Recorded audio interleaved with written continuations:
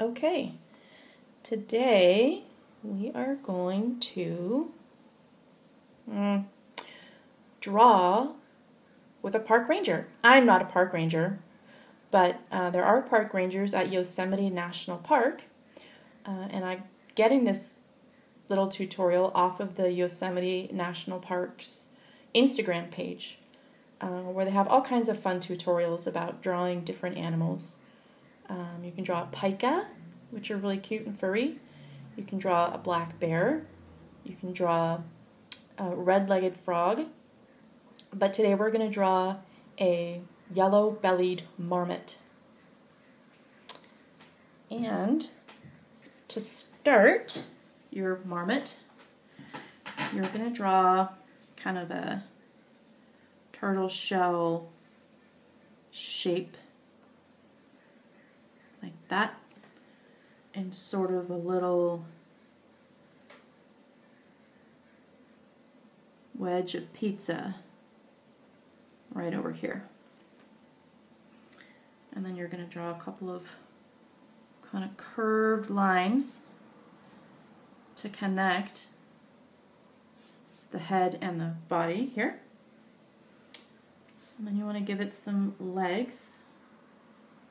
And so you do that by making this sort of shark fin sort of shape. Don't close it though, because that's where you're going to put a foot. And the back leg sort of curves around like this.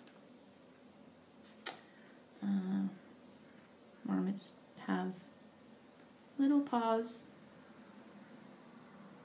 little feet like that. Marmots also have a tail. Mm, like that. Um, marmots also have a snout. So you kind of draw like a little almond shape here. And then you can give your marmot a nose. and a little smiley mouth because marmots are very happy. They have ears so they can hear. And they have little eye so they can see. And a little chin right here. Oh, marmots also have toes.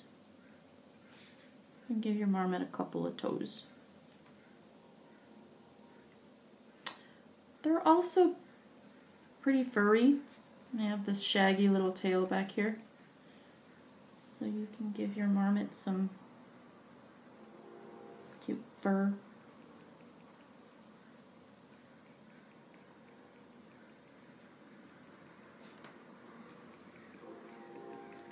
Fur, shaggy fur.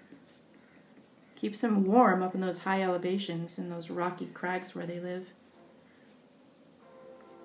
They have some cute little whiskers. And you can take a lot of time and color this in and make it look really cute. Um, but these guys live in the rocky, higher elevations of Yosemite National Park and other in areas in the Sierras. Um, and they're really shy and elusive.